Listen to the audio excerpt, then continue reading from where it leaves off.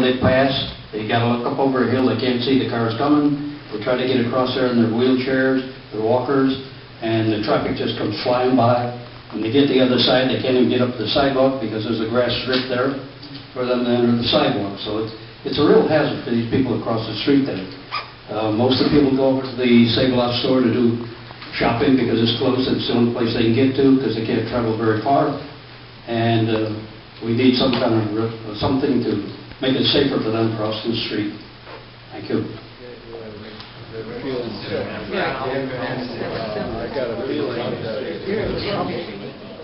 So you, so you have to go some other route. I, I've done it, I've been there for ten years and one other routes.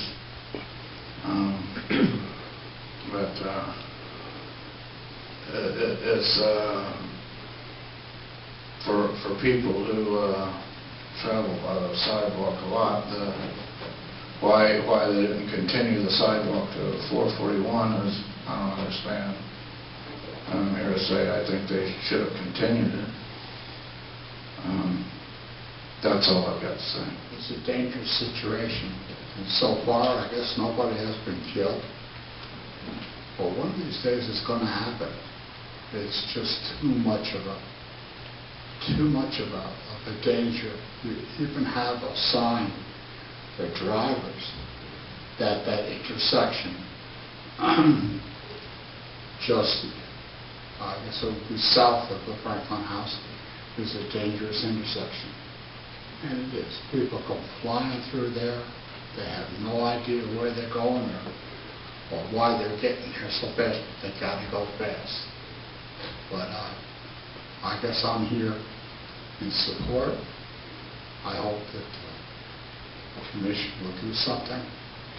Uh, Ten years ago, if you thought, told me I was gonna live there, I'd have told you, oh, you're crazy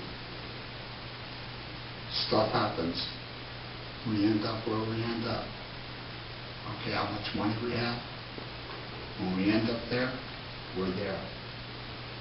And I guess I'm just, I'm hoping that this effort will take off, that people will listen to some of these people, because there's people that didn't come tonight, that I worry about sometimes when I see them out there trying to get down to the diner or go grocery shopping.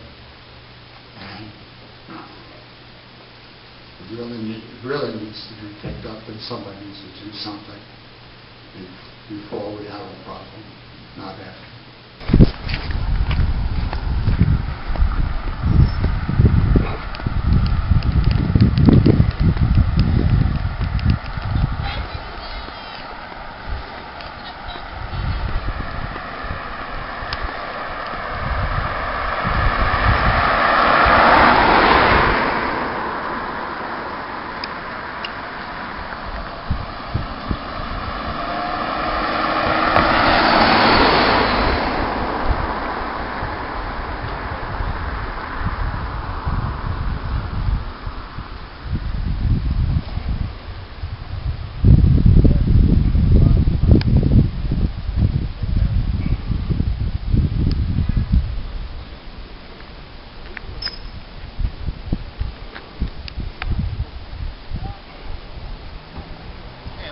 lot over here.